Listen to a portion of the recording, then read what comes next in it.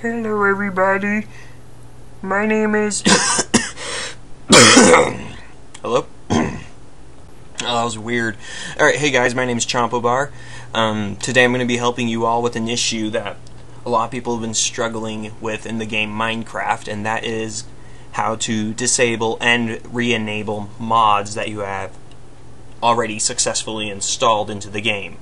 So this video isn't here to show you how to install a mod or how to fix any issues you might already have with an installed mod. This is simply going to teach you how to turn a certain mod, such as the too many items mod, off, and then show you how to turn it back on in case you ever want to disable it temporarily.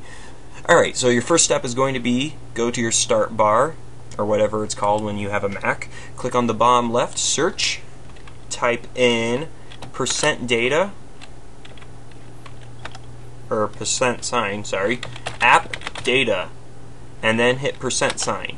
Hit enter. My computer is not slow. Shut up. Alright, so this will take you to your roaming folder, and this is pretty much all your app data for everything on your hard drive. Okay, so your next step is going to be to click on the Minecraft one, which is right here. Alright, and if you have successfully installed any mods into your mods folder, then the name of those mods should appear at the bottom of these folders in the form of a note uh, notepad document. So you can go ahead and open that and it'll bring up all this fancy stuff. Um, we'll get to that in a sec. Go ahead and open your Minecraft game. Log in. Um, sure. Alright, so you're going to again Okay, so if I push M into my menu, you'll see that I already have the mod enabled. I have access to literally everything. I can change time and all that exciting stuff. But I don't want to do that right now. So let's go ahead and turn the mod off. And to do that, just go back to that fancy notepad document, and at the very top there should be a little um, stanza that says enable colon true. So to turn it off, this is basically your on and off switch. So to turn it off, take out the true and nothing else and type in false. There's no spaces at all in this enable colon true slash false. So go ahead and type in false, no capitals, no spaces, no periods. Save and close that.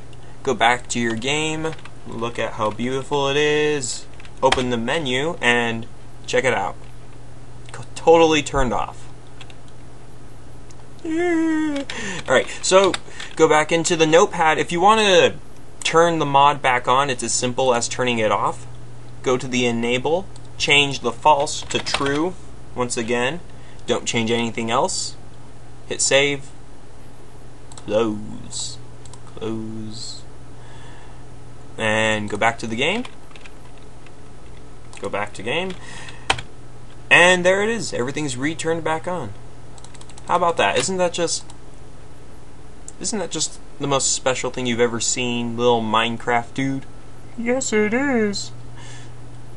Stop making me move my head. Ah. Alright, and that's all you have to do to the game. So you can go ahead and save and quit, do whatever you want.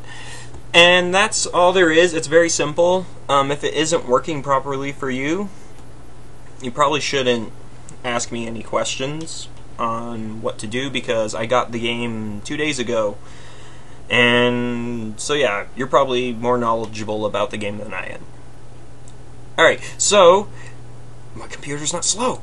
So if there's anything else um, that you guys need to know, if you do have any questions, I'll go ahead and try and answer them in the comments. Don't be mean to me, because yeah, I made the effort to make this video for you, so I'm trying. So please don't get mad at me for this. And uh, if you have any questions, feel free to ask. Go ahead and have a good night.